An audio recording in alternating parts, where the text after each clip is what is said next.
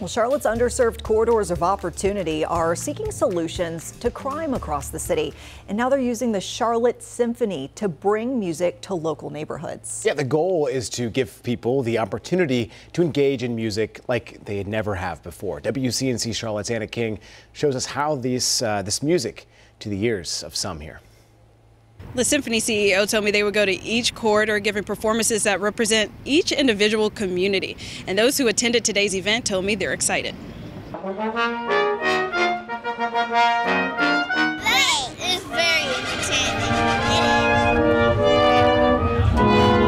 Charlotte Symphony held a celebration. And they cut the ribbon and they talked a lot.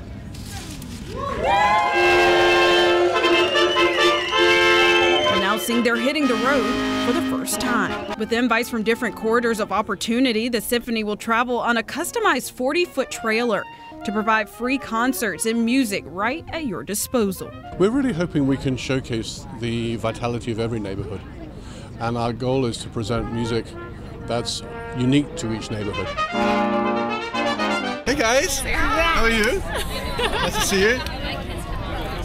Thank you. Each concert will be tailored to the specific corridor they're performing in. The city says this has been a request from many in the city.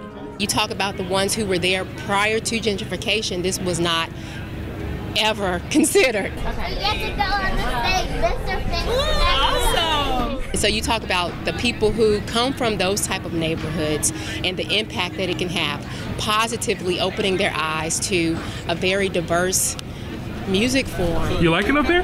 Yeah. Diverse music you'll now get to enjoy right from your front porch. The first concert is scheduled for April 28th, and the Symphony CEO says anyone wanting to have this in their quarter can simply call them or reach out to them online. And for information on how to do that, you can head to our website at WCNC.com. But for now, here in Uptown, Anna King, WCNC Charlotte.